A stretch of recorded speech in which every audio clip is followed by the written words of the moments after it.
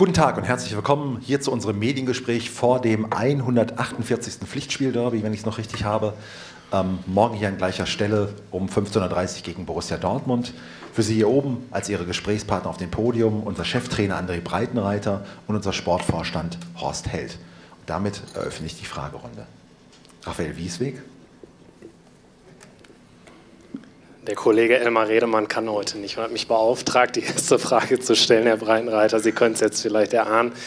Es geht um das Personal. Da ist ja einiges passiert diese Woche äh, oder in den äh, letzten sieben Tagen. Sei es äh, Matja Nastasic, steht er vielleicht wieder im Kader. Was ist mit Fabian Giefer, Sidney Sam? Max Meyer ist ja auch etwas später erst wieder dazugestoßen. Ja, Leon hat sich ja eine erneute Schulterverletzung zugezogen, eine andere ähm, das jetzt keine Folgeverletzung der letzten, sondern er ist ganz unglücklich gefallen und hat sich äh, eine Kapselverletzung im hinteren Bereich des Schultereckgelenks zugezogen, sodass er ausfällt. Fabian Giefer hatte Adduktorenprobleme, hat die ganze Woche nicht trainiert. Die Ursache liegt am Rücken, da wird er jetzt behandelt und hoffentlich steigt er nächste Woche wieder ins Training ein. Jetzt wird er nicht zur Verfügung stehen. Äh, Sidney Sam hat sich einen Faserriss in dieser Woche zugezogen im Adduktorenbereich wird wohl vier bis sechs Wochen ausfallen und somit im Grunde für diese Saison nicht mehr zur Verfügung stehen. Ähm, man muss dazu sagen, es ist schon schade für ihn, auch wenn er sicherlich jetzt sportlich nicht die große Rolle bisher gespielt hat, aber er hat zumindest mal seit äh, Rückrundenbeginn jede Einheit mitgemacht und war da körperlich auf einem guten Weg, äh, dass er durchgehalten hat und äh, sich nicht äh, verletzt hat. Jetzt hat sie ihn leider erwischt. Und Benny Hövedes, ja, die, die Verletzung, die er sich im Trainingslager zugeholt hat, äh, zugezogen hat, ist soweit eigentlich ausgeheilt. Er hat äh, Fußprobleme aktuell. Das ist eine alte Problematik, mit der er sich schon wohl viele Jahre beschäftigt, äh, die ihn momentan noch daran hindern, dass er Mannschaftstraining teilnimmt. Max hatte eine, einen Ansatz der Mandelentzündung. Ähm, das Antibiotikum hat schnell angeschlagen, sodass er jetzt schon seit einigen Tagen wieder im Training ist. Der Rest ist fit. Hoffentlich.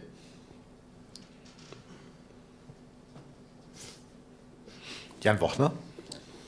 Herr Breitenreiter, welchen Wert hat dieses Revierderby für Sie und wie nehmen Sie das auch so über die vereinzelten Grenzen hinaus wahr? Ja, das Spiel, äh, und das, das spürt man bei, bei vielen, die äh, dicht um uns herum sind, äh, die seit vielen Jahren da sind, hat eine besondere Bedeutung.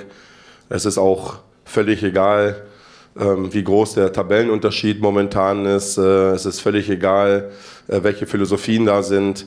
Es ist ein besonderes Spiel und ähm, darauf haben wir, äh, daraufhin haben wir heute auch in der Analyse zu 100 Prozent eingewirkt. Wir haben auch daran erinnert, was auch hier oder in Dortmund passiert ist mit, mit Jubelszenarien nach Torerfolgen. Ähm, das fanden die Schalker, nicht nur die Mitarbeiter, ich glaube auch die Fans nicht besonders witzig. Und äh, da gilt es morgen auch aus diesem besonderen Spiel auch wirklich ein besonderes Spiel zu machen.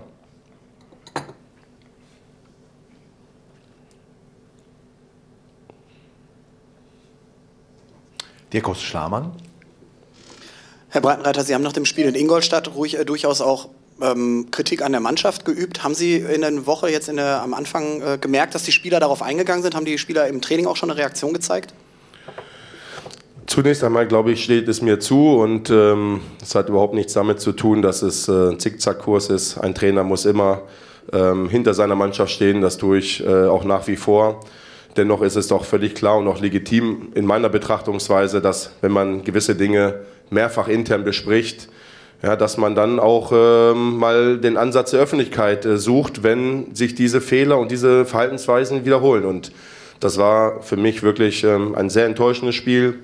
Und das ging auch bis Mitte der Woche, da bin ich ganz ehrlich. Das habe ich den Jungs auch so mitgeteilt und ich glaube nicht nur verbal, sondern auch in, in meiner Art und Weise. Äh, damit war ich nicht einverstanden und noch nie hat eine Mannschaft, äh, die ich trainiert habe, ähm, ja, so wenig gegen Widerstände investiert, wie wir es in Ingolstadt getan haben. Und äh, das hefte ich mir auch ans Revers, dass es auch mir bis heute nicht gelungen ist, das konstant abzurufen. Das hat mich sehr enttäuscht und ähm, darüber haben wir intensiv gesprochen und äh, die Mannschaft hat eine Reaktion gezeigt. Sie, sie hat wirklich gut trainiert. Wir haben gestern wirklich ein tolles Training gehabt, äh, wo wir uns auch im Detail auf den Gegner vorbereitet hat, haben. Sie zeigen sich bissig motiviert, äh, sind jetzt vorbereitet auf alles, äh, nicht nur ähm, taktisch, sondern auch äh, emotional. Aber letztendlich liegt es dann nicht mehr in meiner Hand, in unserer Hand, sondern auf dem Platz müssen das die Spieler selber regeln. Und das erwarte ich, dass sie morgen, auch wenn, wenn keiner äh, mit uns rechnet, ja, wenn jeder uns mit, äh, mit Füßen äh, tritt, ja, zu Recht für Leistungen wie in Ingolstadt. Ja, aber morgen ist ein neuer Tag und da erwarte ich, dass wir uns wehren. Morgen darf kein Widerstand zu groß sein, äh, egal ob wir einen Rückschlag erhalten, da müssen wir da sein und wir müssen wehtun ja, und das Bestmögliche geben. Zu was es am Ende reicht, kann ich Ihnen heute nicht sagen, aber das muss ich erwarten können. Und ähm, da bin ich mir auch eigentlich ziemlich sicher, dass das morgen der Fall sein wird, ja. Nochmal dir, große Schlamann. Also Sie haben den Kollegen vom Print gesagt, dass niemand unantastbar sei außer Ralf Fährmann. Planen Sie für morgen personelle Konsequenzen aus, den, aus der Leistung aus Ingolstadt oder sagen Sie, die Jungs haben in der Woche so viel gezeigt, dass das, ich sage jetzt mal, vergessen ist? Ja, letztendlich muss man äh, irgendwann auch abhaken und äh, dann auch wieder äh, sich auf das neue Spiel konzentrieren. Also ich bin mit Sicherheit nicht beleidigt oder nachtragend, denn äh, das ist der verkehrte Ansatz. Fehler werden äh, angesprochen. Ähm, wir haben über diese Dinge intern ja schon mehrfach diskutiert, deswegen auch äh, diesmal der öffentliche Weg, um auch ja, die Reize der Spieler ähm, zu erreichen, ja, weil das dann ja doch eine andere Art und Weise der Kritik auch mal ist. Und äh, äh wenn ich sowas sehe, da geht es ja auch mal um ein Ehrgefühl, um Stolz, ja, mich nicht so zu ergeben. Und ähm, ich denke, das ist gelungen, aber letztendlich werden wir das auch erst äh, morgen auf dem Platz sehen. Ne?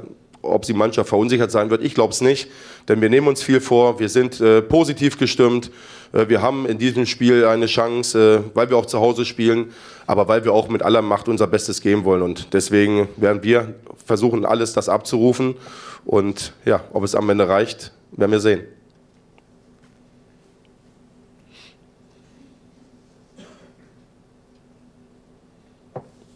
Nochmal die Großschlamann. Herr Held, es äh, wird Ihr letztes Revierderby erst einmal sein auf Schalke. Mit welchen Gefühlen gehen Sie morgen hier in die Arena? Ja, ich freue mich auch auf das Spiel. Das brauche ich ja nicht erwähnen, dass es halt ein besonderes Spiel ist äh, für alle Beteiligten. Und ähm, ähm, ich weiß, dass die Mannschaft exzellent vorbereitet ist vom Trainerteam, vom André, dass sie alles mitbekommen hat, was sie bekommen muss, um so ein emotionales Spiel halt auch, auch zu bestehen. Und in der Tat ist es so, jetzt äh, müssen sie sehen, dass sie das äh, auch auf den Platz kriegen halt. Ja. Und da erwarte ich natürlich, dass sich jeder da voll reinhängt. Es steht viel auf dem Spiel für, für uns, äh, dahingehend, dass man halt ähm, einfach sich wehren muss. Das, was in Ingolstadt passiert ist, darf halt äh, natürlich nie passieren, aber schon gar nicht, wenn man eine Wichtigkeit von so einem Spiel definiert, äh, morgen schon gar nicht. Und, und deswegen erwarte ich, dass nachdem sie so gut vorbereitet sind, auf alles eingestellt worden sind, auch emotional ähm, noch vieles mit auf den Weg bekommen haben, dass sie das halt auch ähm, mit ihrer Professionalität auch dementsprechend umsetzen. Und ich würde mich natürlich freuen, wenn wir morgen ein, ein super Spiel abliefern halt, ja. Und klar wünscht sich jeder von uns äh, Schalkern, dass man dieses Spiel gewinnt. Und ähm, das wäre natürlich beim letzten Derby für mich persönlich, was nicht das Wichtigste ist, aber für mich persönlich wäre es natürlich dann schön, ist doch klar. Uwe Dietz. Herr Clemens Tönnies hat angekündigt, dass äh, Ihr Nachfolger schon Anfang Juni äh, hier in Schalke aufschlagen soll. So hat er es, glaube ich, sogar wörtlich gesagt. Ähm, Gibt es da Absprachen? Da läuft ja meines Wissens Ihr Vertrag auch noch. Sie sind ja noch im Dienst bis Ende Juni. Gibt es da irgendwelche Absprachen jetzt schon, wie das dann laufen soll, rein, takt, rein taktisch oder fachlich? Wir werden nicht zusammen an einem Schreibtisch sitzen, also das können Sie, können Sie sicher sein, aber wir werden uns sicherlich auch dementsprechend dann nochmal austauschen. Es gibt noch kein festes Datum, es gibt noch kein, kein kein Ablauf, aber es ist auch klar, dass äh, irgendwann mal ähm, das vielleicht dann äh, wäre wahrscheinlich ein bisschen schwierig am 1.7. die Geschäfte erst aufzunehmen. Ähm, aber über Details haben wir uns da noch nicht unterhalten. Der große Schlamann. Ja, Dirk, genau. Herr Breitenreiter, man merkt, dass Sie mit Emotionen dabei sind, auch vor dem Derby, jetzt schon gerade in Ihrer Ansprache. Haben Sie für morgen was Spezielles geplant vor der, äh, in der Kabine oder irgendwie sowas, um die Jungs nochmal anzustacheln? Oder wird vielleicht auch jemand von den, von den Spielern, ich glaube, das gab es schon mal hier, dass äh, Benne, glaube ich, vor dem Spiel äh, mal die Ansprache gehalten hat. Haben Sie irgendwas Besonderes geplant? Ich persönlich nicht, ähm, vielleicht der eine oder andere, aber letztendlich benötigt auch morgen normalerweise keine zusätzliche Motivation. Also wenn, äh, wenn das nicht jedem klar ist, das haben wir vorhin auch gesagt vor der Analyse, ähm, wenn nicht jeder weiß, um was es geht, dann soll er jetzt bitte aufstehen und rausgehen, äh, weil dann kommt jemand anders, der es verstanden hat. Es sind alle sitzen geblieben. Ja? Also gehe ich davon aus, dass jeder weiß, um was es morgen geht und da braucht man keine Zusatzmotivation. Ne? Erstmal ist es das Derby, was für unsere Fans und für alle drumherum unheimlich wichtig ist. Und das Zweite ist, ja, dass wir auch eine beschissene Leistung in Ingolstadt geboten haben in der Art und Weise und da auch äh, das besser machen wollen. Und das ist morgen unser Ansatz und äh, da braucht man normalerweise gar keine Worte mehr finden. Ja, da bin ich als Spieler äh, top motiviert und gebe mein Bestes. Das heißt nicht automatisch, dass man gewinnt, aber das nehmen wir uns vor. Wir wollen morgen gewinnen und das mit der bestmöglichen Leistung, dann haben wir auch eine Chance.